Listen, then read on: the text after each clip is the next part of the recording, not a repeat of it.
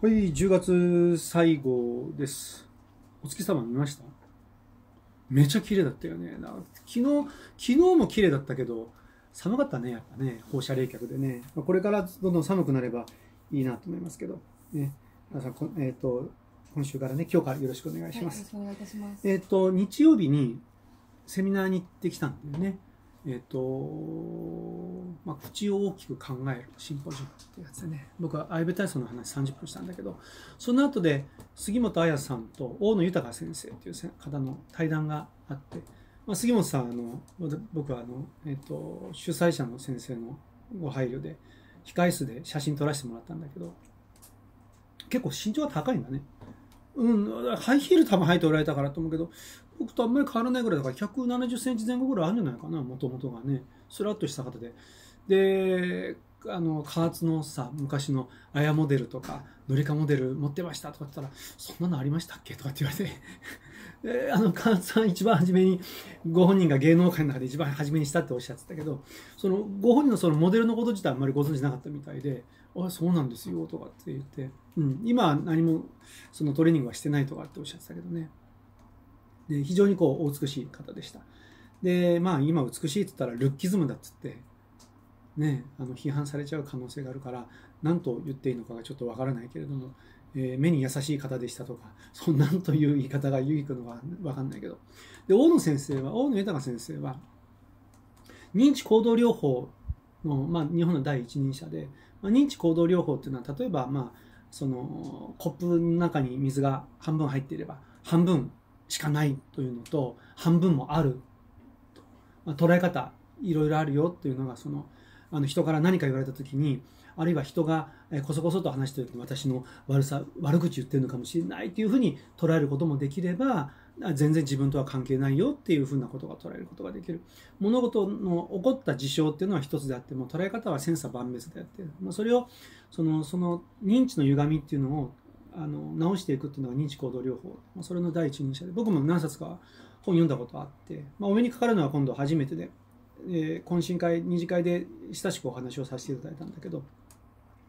まあ、むしろ大野先生というとあの認知行動療法よりは雅子様の主治医と言った方が、まあ、ピンとくる人がいると思うけど、まあ、今年の6月に雅子様がどこだっけ海外を訪問するときに初めて大野先生が主治医になってから初めて同行されなかったって今まで同行してたらしいね。俺全然知らなかった。医者ってそんなことまでするのかと思って、でもしひどくなった時に何の対処するのかなと思ったけど、初めて大野先生が対処され、えっ、と、同行されなかったっつってニュースになってたけど、まあそうやってずっとマスコ様のそのメンタル面をサポートしながら、えーと、やってこられた先生で非常にこう親しくねお話をさせてもらいました。とても、えーと、勉強になったね、えー、時間だったのと同時にやっぱりアイベ体操は知ってても口呼吸のことについてものすごく詳しく知ってるとかっていう人がすごくいっぱいいるかっていうとそうでもないからやっぱりまだまだ、まあ、もちろんなんだけど情報をしっかりと伝えていかなければならないなというふうに思いました。で昨日ねあのいつもほらあのなんだっけ、えー、白龍もらったからあれでプレゼントで。白龍を食べて。白龍と日本一高いそうめんっていうのがね、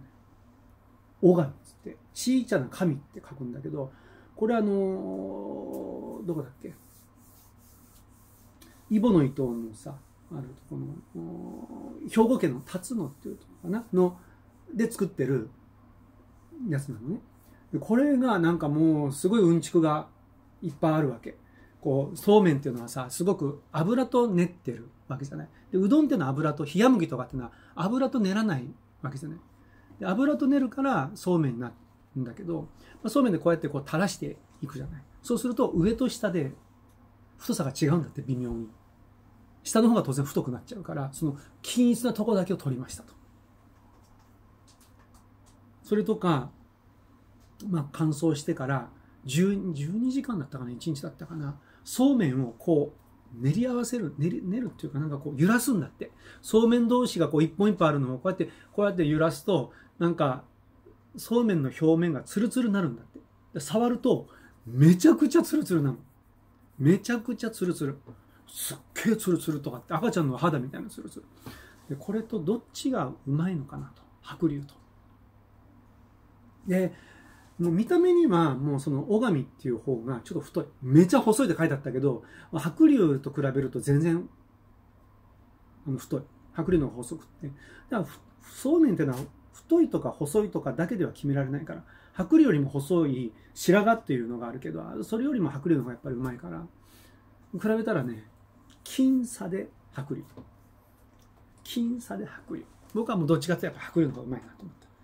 うん、なので皆さんまた白龍持ってくるので安心してこれが一番うまいと思って食べてもらえるといいなと思いました。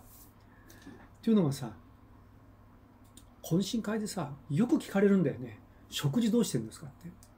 なんか俺すごくほら運動とか呼吸のこととか言ってるから食事ものすごいこだわってると思われていやいや朝は僕プロテインですよ。って言われたらびっくりされて炭水化物取らないんですよね。って言ったらいや昼間玄米食べますよ。ってって。夜何かあるんですか？って出たものを食べますよって言ったらものすごいびっくりされて夜そうめんしか食わなかったって言ったらそういう人たちはもうびっくりするんじゃないかと思ってそれで昨日そうめんの食べ比べにしていました、まあ、みんな